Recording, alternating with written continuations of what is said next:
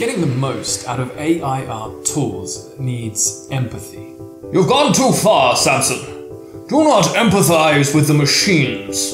What I mean is we need to understand what the machines understand. And in today's video, I'll show you a tool called Phraser Tech, which does a fantastic job at visualizing just this. By the end of this video, you will have a better understanding of how to write effective prompts. So let's dive straight in and have a look at how it works.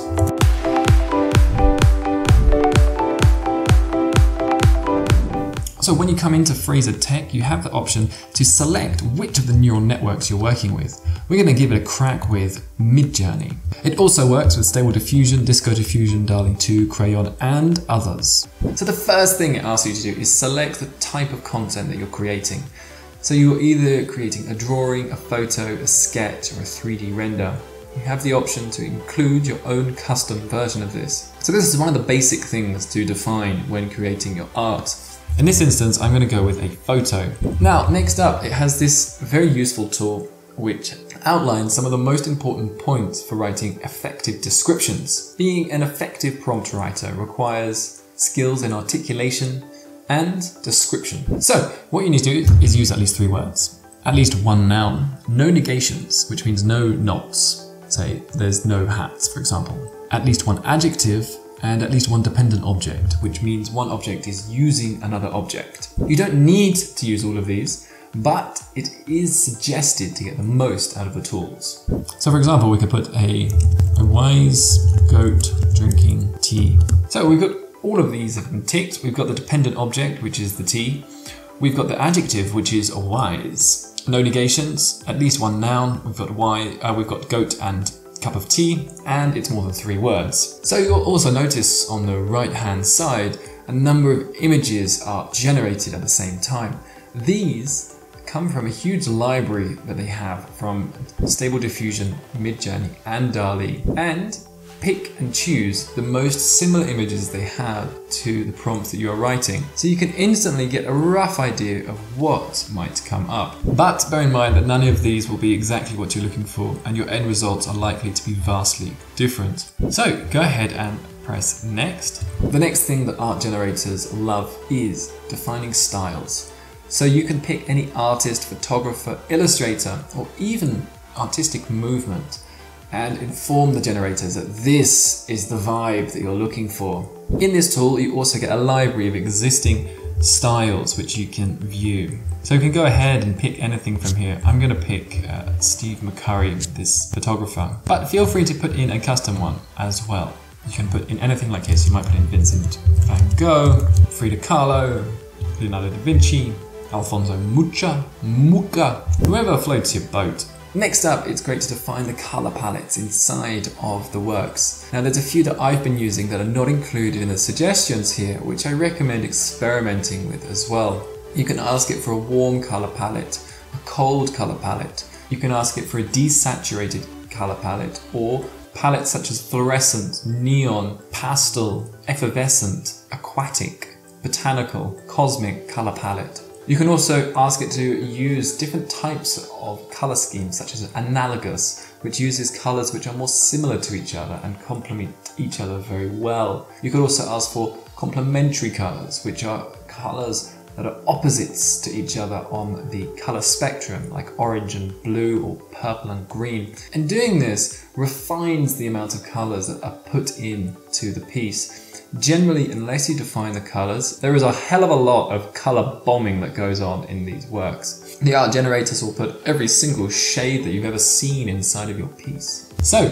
to get better prompts, to get better work, define your color palettes. In this case, I'm going to use my own custom color palette and I'm going to define it as, as a complementary color palette. So the next thing you can do is to add a texture. So the art generators understand textures very well. It has a broad library of resources to draw from regarding texture. However, adding in textures is not always necessary if it's self-evident what you're creating. So in this case, I'm not going to add a texture. And you can simply put in a space and press OK in this tool to do that. Now, another thing that these art generators understand particularly well is resolution. So you can have an extremely high definition image or you can have an extremely low definition image. And the benefits of having a low definition image is you can get some very distinct stylized examples, perhaps some pixel art.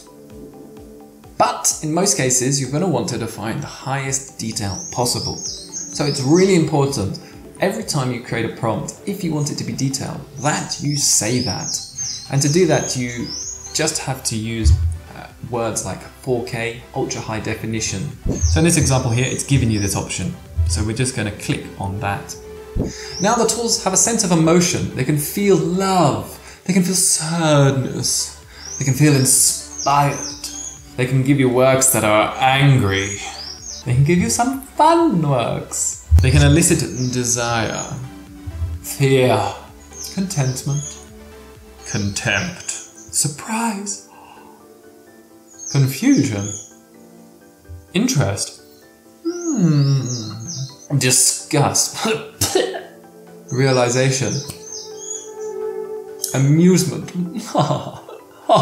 One is amused. And pain. Oh. So when creating your artworks, you want to give it a feeling. Imagine how you want the viewer of your work to feel. What is the emotion that's carrying your piece? I believe that the greatest artworks have an intent of emotional response that they're looking to elicit from the viewer. So define that.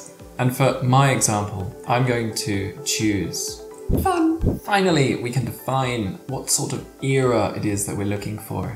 This can go all the way back to primitive society, cave paintings, to the future, giving it a futuristic feel. So these are styles that really resonate well with the machines. And you can pick whichever you like. I'm going to go with contemporary. Finally, we get our prompt spat out. And you can see that we've got a comprehensive description of what it is we're looking for. And this tool is great at making sure we consider all parts of a possible prompt. But it's not perfect, and I very much recommend that you manipulate and coax, caress, and refine this prompt to get what you want.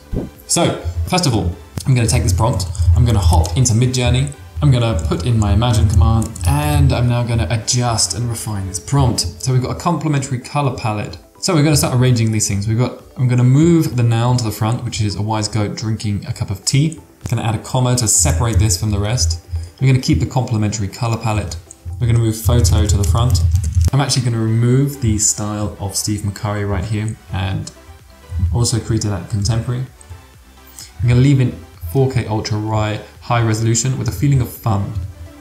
I'm going to change fun to mischief I'm going to add in, in the style of Wes Anderson. So he's one of my favorite film directors. And we're going to see if we get some relevant imagery from that.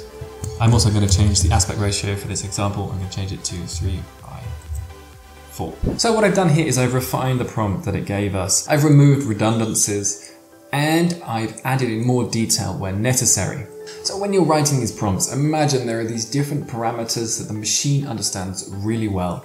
And if you use these, it's going to be able to communicate and collaborate in exactly the manner you expect it to. So here we have four options for our prompt, and we can choose which one of these we like to upscale. You can see that we've got a wise goat. It's got the complementary colours.